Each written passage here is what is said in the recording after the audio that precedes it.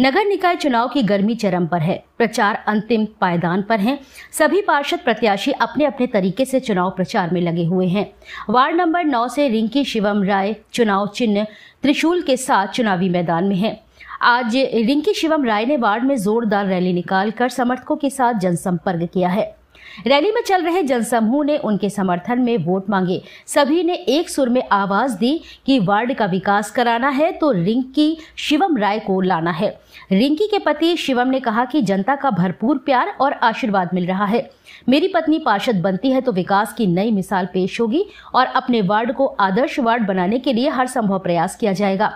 यह जनसंपर्क की रैली ने पूरे वार्ड में भ्रमण किया और जनता से अपील की कि 4 मई को होने वाले मतदान में त्रिशूल के सामने वाला बटन दबाकर भारी मतों से विजयी बनाएँ। झांसी से मनीष अली की रिपोर्ट। राय वार्ड नंबर नौ से रिंकी बमराय वार्ड नंबर नौ सभासद प्रत्याशी निर्दलीय चुनाव चुनाव चिन्ह है त्रिशूल। आप चुनाव मैदान में तो उतर ही गए हैं। क्या मुद्दे आपको समझ में आते हैं आपके वार्ड वैसे हसारी में कई मुद्दे बड़े मुद्दे हैं जैसे जल की व्यवस्था नहीं है पाइपलाइन डल गई है लेकिन अभी नल की व्यवस्था नहीं है बिजली की व्यवस्था नहीं है खंभे नहीं है काफ़ी जगह और मरघटा नहीं है। हमारे इस वार्ड हमारे वार्ड नंबर एक में। मरघटा है वार्ड नंबर पच्चीस में मरघटा है वार्ड नंबर नौ में नहीं है।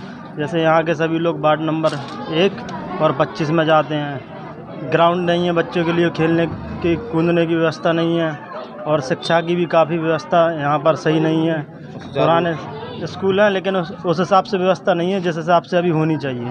इतने समय से अभी जो पार्षद रहे तो उनका क्या ये सब किसी भी मुद्दे पे उन्होंने ध्यान नहीं दिया?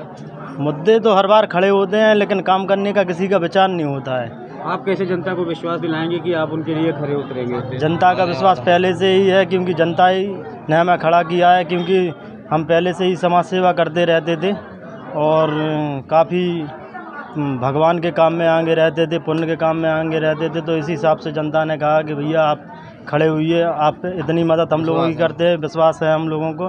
तो आगे आप जब इस पद पे आ जाओगे तो सदन में भी आप हमें कई व्यवस्था और सुविधा सरकारी योजनाओं का लाभ मिलेगा हमें। क्या कहेंगे अपने जनता से? जनता से यही कहेंगे कि चार तारीख को ज़्यादा से ज़्यादा मत डालें और ज़्यादा से ज़्यादा छोटे भाई को और बहू को योगदान करके भारी मतों से विजय बनाएँ।